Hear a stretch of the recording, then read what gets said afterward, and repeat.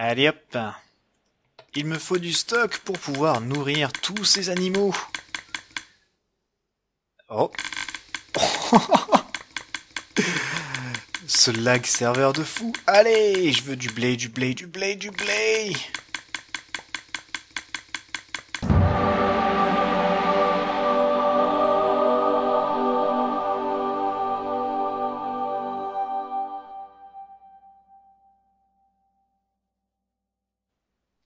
Et bonjour à tous, bienvenue pour ce nouvel épisode sur Holycube les amis, très content de vous retrouver. Hop là Et on se retrouve bah, enfermé dans la cheminée en fait. Il y a un truc que j'ai pas encore géré, donc j'avais refermé le passage de l'autre côté.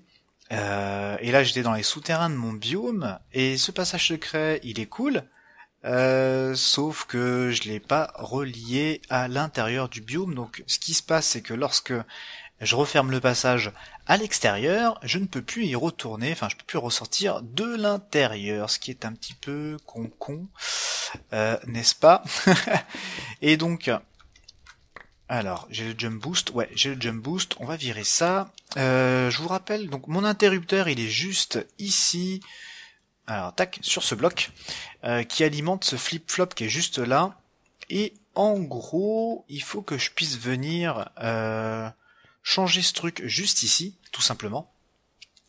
Et euh, alors ça va être dépendant de plusieurs petites choses. Ici, j'ai le niveau de mon sol par rapport à mon biome. Mhm. On pourrait envisager avoir d'autres trucs par ici. On peut avoir pas mal de petits trucs à droite à gauche par ici. Euh, d'ailleurs, à mon avis, je pense qu'on va, on va très certainement rajouter une méca dès aujourd'hui ici dans le coin, je pense. Euh, ça peut être sympa. Euh, mais ça veut dire que cette partie-là, il va falloir que je la décore un petit peu, parce que là c'est un petit peu, euh, c'est un peu crade comme ça en fait. Il faut que je vois les blocs que je peux enlever ou pas, parce que là je vois que j'ai de la coarse dirt. Hein, que je ne peux pas enlever, il semblerait. Donc c'est un petit peu galère tout ça.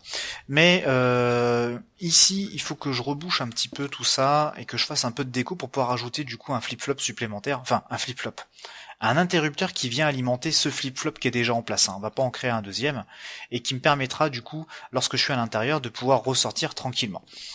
Euh, je vais essayer de voir ici euh, ce que je peux faire en termes de déco rapidement. Parce que les blocs qui sont ici, vu que c'est la surface, ils sont visibles à l'extérieur, donc c'est assez embêtant, peut-être feinter avec juste une dalle pour pouvoir bloquer, en espérant que je me cogne pas la tête dessus, mais ça devrait pouvoir le faire. Donc je vais faire ça euh, rapidement et, euh, et puis bah, on se retrouve juste après comme ça pour pouvoir attaquer du coup euh, le projet du jour. Et vous avez été plusieurs à avoir suggéré une chose dans le dernier épisode et donc il va me falloir du coup masse de cuir. Qu'est-ce que tu fous chez moi? Voilà, dehors. Il va me falloir masse de cuir. Et euh, comme je traîne beaucoup dans mon biome, c'est toujours un peu galère de devoir retourner du coup au spawn à l'usine à vache euh, qui a été fait par Auré. Donc on va se faire juste un tout petit modèle ici, mais qui sera euh, assez rentable en termes de quantité pour que je puisse avoir vraiment masse de cuir et de bouffe en même temps. Donc je m'occupe rapidement du flip-flop avec un poil de déco et on se retrouve de suite. Ok, alors ça y est, on peut enfin gérer le passage dans les deux sens. Alors, j'ai rien fait d'extraordinaire. Il se trouve que je suis vraiment, vraiment limité en termes de place. Euh, il y a vraiment les blocs de dirt un peu partout ici qui donnent sur l'extérieur. D'ailleurs, il y en a un qu'il faut que, que j'aille euh, reboucher. Mais en gros, pour faire très simple, vous avez vu et vous vous rappelez que la redstone derrière ici est assez compacte et je peux pas trop trop m'étendre dans cet espace-là. Et donc, ce que j'ai fait pour l'instant, j'ai juste fait un petit sas entre guillemets avec des escaliers. Euh, qui me permettent juste de descendre et remonter. Pour l'instant, il n'y a aucun, aucun pattern, pardon, a aucune déco, parce que on va bosser dans ce coin ici, donc euh, je voudrais l'adapter après en fonction de ça. Mais dans l'immédiat, j'ai juste ici, euh, vous voyez ici, mon petit flip-flop qu'on avait fait ensemble, et en fait, j'ai rajouté un interrupteur qui me permet de fermer, de rouvrir mon passage, tout simplement. Et je me suis dit, ouais, franchement, ça me paraît propre, ça fait le job, c'est censé, c'est censé être un passage secret en même temps. Et euh, ça me paraît pas si mal. Il va y avoir les murs à décorer. Euh, là pour l'instant j'ai juste mis plein de blocs euh, sans trop trop réfléchir, mais je vais voir je pense pour modifier euh, un petit peu tout ça. En tout cas, voilà, l'avantage c'est que l'interrupteur est accessible assez facilement. J'ai mis pas mal de bois tout de même pour cacher un minimum, mais bon, ça n'empêche qu'on a un minimum la vue sur le flip-flop. Et euh, on va dire que ça fait le job. Ici, on va y revenir juste après, hein, je vais faire deux trois petites choses. Je voudrais en profiter pour vous montrer juste un dernier truc que je viens de faire à l'instant aussi, et depuis le temps ça devait être fait. Juste ici, j'ai rajouté un interrupteur, enfin.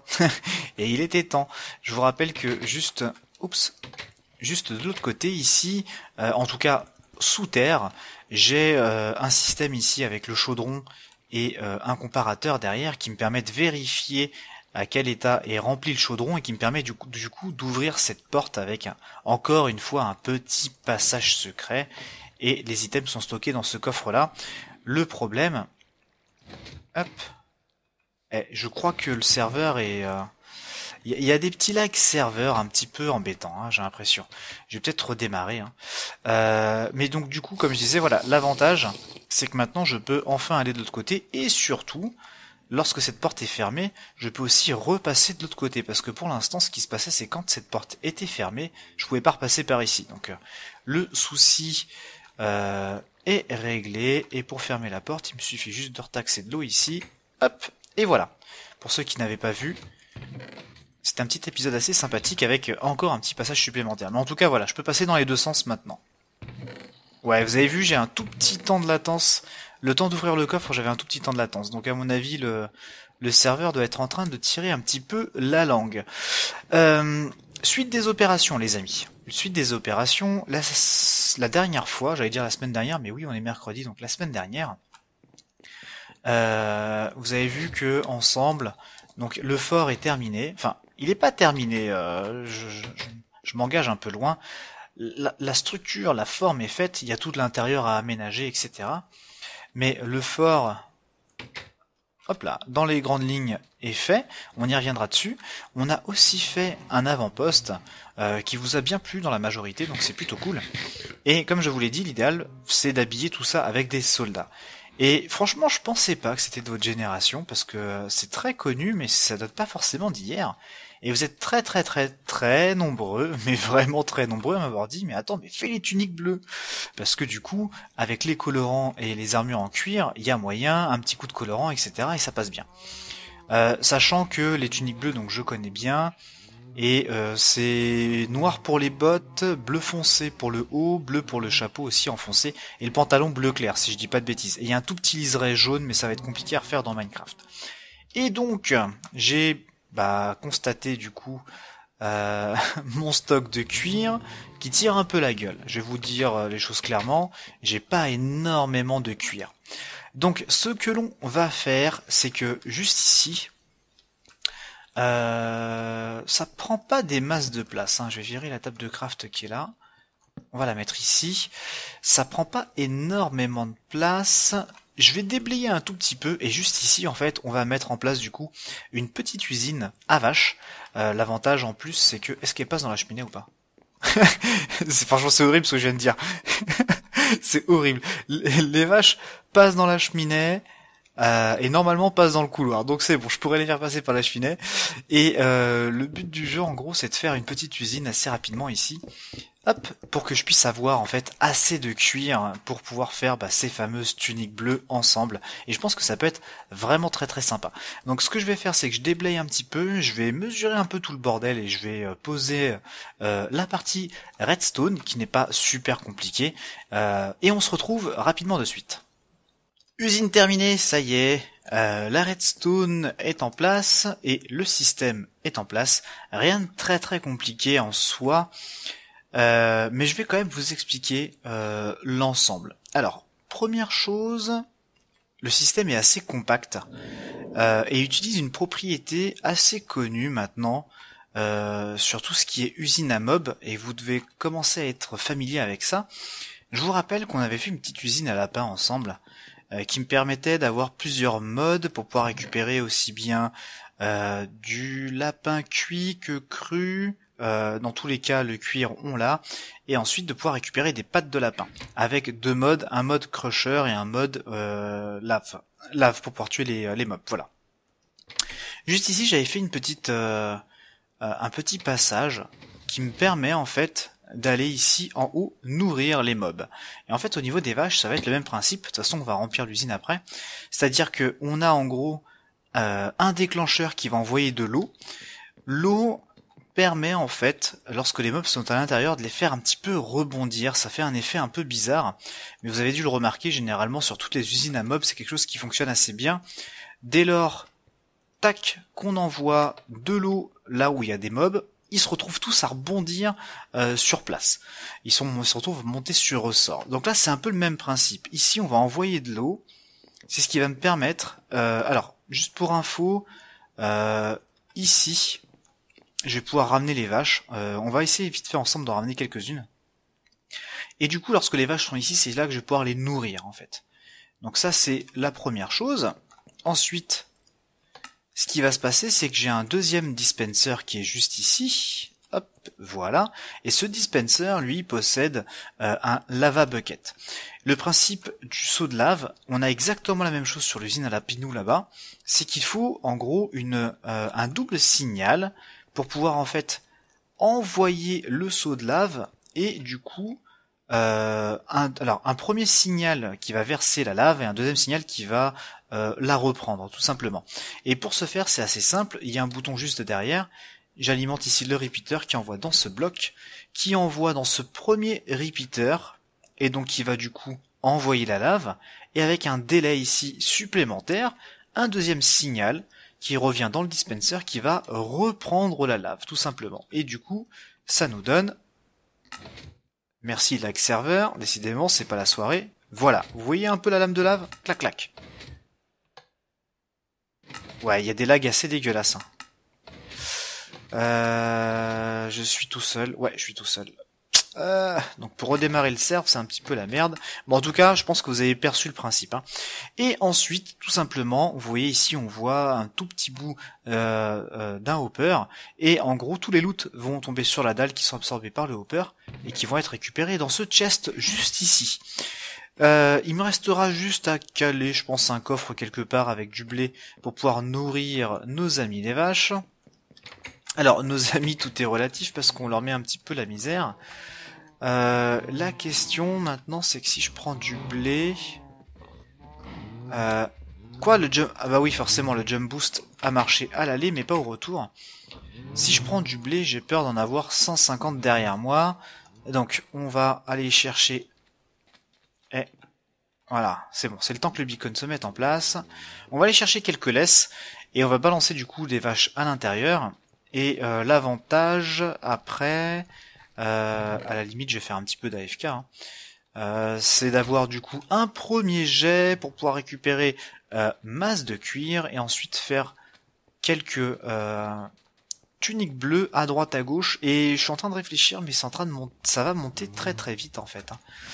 parce que en termes de cuir j'ai oublié les vaches en termes de cuir Ouh, la note, elle va être salée, en fait. Hein. Table de craft. Il me faut 1, 2, 3, 4. Il me faut 7 pour un pantalon. 5. Donc j'en suis à 12. Plus 4, j'en suis à 16. Plus 8. Il me faut 26 pour un soldat. De cuir. 26 cuir pour un soldat. Euh... Ouais. C'est pas avec une tournée de vache que je vais arriver... Euh que je vais arriver du coup euh, à la fin de mon objectif si je pouvoir mettre quelques petits soldats. Ça va être un petit peu longuet je pense. Hein. Déjà dans l'immédiat je voudrais voir s'il y a moyen... Allez Dans la cheminée les vaches euh, C'est trop un truc de fou, c'est horrible. Hop. Voilà. Voilà. Il y a moyen que tu ailles à l'intérieur du trou, s'il te plaît. Allez Allez euh, elle y va pas. Euh, et si je fais ça, ça y va ou pas? Allez les vaches. Ok, il y en a une. Naturellement, tu vas pas du tout où il faut. Ah, s'il te plaît. Voilà, voilà. Vas-y, voilà, voilà, voilà, voilà, voilà. Oui, ok. Une de fait. Euh, J'aimerais bien pouvoir remettre le bloc à sa place. Vous, vous voyez ce qui m'attend là? Euh, Je crois que je vais pas toutes les ramener comme ça. hein. à mon avis, je vais en ramener quelques-unes. Euh, je vais, comment dirais-je Je vais les accoupler et je vais faire de l'AFK comme un cochon pour avoir blinde de bébés. Oh la vache, quelle galère. Tiens, on va remettre ça quand même. Allez. Ouais, ok. Euh, ça va être une grosse, grosse galère pour les foutre là-dedans, quoi. bon, je vais vous laisser, les amis. Je crois que on a pas mal de choses à se dire avec euh, avec nos amis les vaches. Hein? En tout cas, elles ont décidé de me pourrir. J'aimerais bien réussir à les mettre dedans direct comme ça, là. Sinon, je vais être obligé de casser un bloc à chaque fois, et oh, la mission, quoi. Allez, allez, t'es t'es dedans, là Non, mais... Oh, cauchemar activated Cauchemar activé. Bon, les copains, allez, je me dépatouche de cette merdouille, là, et de cette galère, et on se retrouve de suite. Alors, quelques temps plus tard, voilà nos amis les vaches euh, sont là et entité, j'en ai combien? 111. What the fuck? Je dois pointer, je dois pointer ailleurs, c'est pas la bonne idée. 17. Normalement j'ai un nombre pair, hein, donc je devrais pas 15. Ouais, normalement j'en ai une vingtaine. Donc il a l'air de galérer un petit peu Minecraft pour me donner le nombre d'entités précis. Euh, toujours est-il que ça y est, c'est rempli, donc je confirme, euh, une vache rentre dans une cheminée. Par contre c'est galère, c'est super galère. Euh, au pire, si je veux euh, avoir plus de vaches, il y a toujours moyen, hein, je vous rassure. Et donc, système de base, comme je vous l'ai dit, très simple. Donc vous voyez ici, j'ai alimenté du coup ma source d'eau, je fais péter mon blé, j'ai juste à spammer ici, rester appuyé sur clic droit, et ça balance la bouffe tranquillement. Hein Ensuite, on va pas forcément aller jusqu'au bout, hein, c'est pas trop grave. Vous voyez ici, ce qui se passe, c'est que les veaux, en fait, avec l'eau, ils sont éjectés dans le petit slot qui est juste à droite. J'ai euh, une pancarte juste ici à droite qui me permet de bloquer euh, ma source d'eau et mes vaches bien évidemment font deux blocs de haut donc elles ne passent pas ce petit interstice qui est juste ici. C'est ça l'avantage. Euh, je vois quand même, j'ai vu un petit veau quand même, à la limite, il y a toujours moyen de refresh en rebalançant. Normalement. Mais j'ai l'impression qu'il y a un ou deux veaux qui ont été bloqués quand même. Hein. Il y a peut-être pas un taux... Euh... Ah, ah, Mm, Ouais. Il y a peut-être pas un taux de 100%. Et puis j'ai l'impression que le serveur a vraiment, vraiment du mal aujourd'hui. hein. Il a vraiment du mal. Donc ça c'est un peu galère. Merde, je suis tombé dedans. ok, merci les Underpearl. Euh, mais ouais, il y a l'air d'avoir un ou deux veaux glitchés. Bon, à la limite ça je regarderai. Normalement ça fonctionne plutôt bien. Euh, ou sinon ça veut dire que je n'ai pas mis assez d'entités en hauteur, hein, tout simplement. hein. Donc ce qui va se passer, là où je vous rassure, c'est qu'ici, dans ce slot là, plus vous avez des vaches, et plus les veaux seront éjectés à 100%. Ça c'est une certitude, parce que plus il y a d'entités ici, moins il y a de place, et plus en fait avec les collisions et avec l'eau, ils seront éjectés dans le spot qui sera juste là. Donc, pour l'instant, on va mettre le blé ici, on va pas se stresser avec. Euh, il va falloir que j'aménage et que je nettoie un petit peu tout ça. On va déjà récupérer la table de craft. Merci bien. Et du coup, eh, quand j'y pense, hein, je vous rappelle que... Merde, j'ai pas été très doué. Euh, on a des lits en haut, donc on va pioncer un coup. Voilà. Je vous rappelle que tout ça, c'est uniquement pour euh, le coup des tuniques bleues, quoi. C'est là je me rends compte dans quoi je me suis embarqué. L'avantage au moins, Hop, l'avantage au moins c'est que quand les vaches seront cuites, désolé de le dire, hein, mais ça me fera une source de bouffe supplémentaire, donc c'est ça qui est plutôt cool. Et vous voyez qu'ici, il me reste encore 1, 2, 3, 4, 5, 6. J'ai 7 adultes et je les ai reproduites juste avant d'en rebalancer à chaque fois dans la cheminée, donc... euh, Donc ouais, franchement, ça le fait. Je suis plutôt content euh, du résultat. Je sais que c'est quelque chose qui va être... euh, qui va avoir un assez bon débit en termes de production. Je suis pas trop inquiet. Euh, non, on va plutôt te mettre de l'autre côté, toi. Hop. Allez, voilà. Et donc, c'est le moment. Les tuniques bleues, c'est quoi? C'est un chapeau bleu, un haut bleu, un pantalon bleu clair et des bottes noires. Voilà. On essaye de coller un petit peu, euh, du coup, à cette très célèbre BD. Malheureusement, il y a la bande marron ici et les petites genouillères marron, mais normalement, il y a un petit liseré jaune euh, dans cette BD. Et vous avez vu le dégât que je viens de prendre en décalé là, il a, a l'air d'avoir euh, une sacrée merdouille. Shuka m'avait dit l'autre jour qu'il avait eu... Euh, il avait quelques soucis aussi. Il avait des gros rollbacks et des grosses merdouilles. Alors après, je sais pas si euh, vraiment là c'est le... comment, s'il faut re... si c'est lié au fait de devoir relancer le serveur ou quoi, mais bref. J'ai posé ma table de craft parce que j'ai une inquiétude tout de même. Euh, vous avez vu que mon cuir est parti super vite. Et normalement, vu le décompte que j'avais fait tout à l'heure, je crois que... Euh... Ouais, il me manque des bottes, c'est bon. Euh, chaud Très très chaud. Donc ce que je vais faire, c'est que je vais en remettre au fur et à mesure. Il y en a un au niveau de la tour qui est ici, un qui est juste à côté. L'idéal, c'est de remettre par exemple encore un au niveau de la tente, un au niveau du canon, ça peut être très sympathique. Euh, d'ailleurs, au niveau du fort, bah au niveau du fort, de toute façon, c'est pareil, il va falloir que je fasse des choix. Hein. Je vais pas pouvoir non plus les mettre forcément devant le canon, enfin devant chaque canon et dans les tours et sur le chemin de ronde. Oula, je suis parti loin. Ouais. Euh, je vais vite être limité, donc je vais commencer euh, à en placer au moins certains. Et de toute manière, ce qui me reste à faire, c'est que bah écoutez, hein, de temps en temps, il va falloir que, va falloir que je farme en gros et que j'aille au niveau de l'usine à vaches. Hop. L'avantage, c'est pour, c'est que pour le côté déco, j'ai quand même toutes les vaches qui sont à l'extérieur. Et sincèrement, les vaches à l'extérieur, du coup, je peux les nourrir euh, régulièrement et refaire une petite session manuelle, ça passe très très bien aussi. Hein c'est pas la mort. Hein. Et là, ici, le pantalon, c'est bleu clair. Et je réfléchis. Ouais, bon, à la limite, ici, on voit pas les bottes, c'est pas la mort. Tu peux mettre mon armor, mon fucking armor stand là ou pas? Ah, voilà. Ok, tout va bien. Et donc, hop, hop, et hop, voilà. Disons que celui-ci, entre guillemets, est complet, ce qui n'est pas réellement le cas. Et l'avantage en fait de ce truc là, c'est que du coup en plus, voilà, on les voit quand même beaucoup mieux. Donc ce qui est plutôt assez sympathique.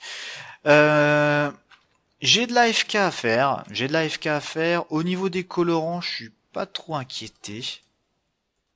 Hop, hop. Euh, je suis pas trop inquiet au niveau des colorants, j'ai une, assez bonne marge. Donc c'est plutôt cool.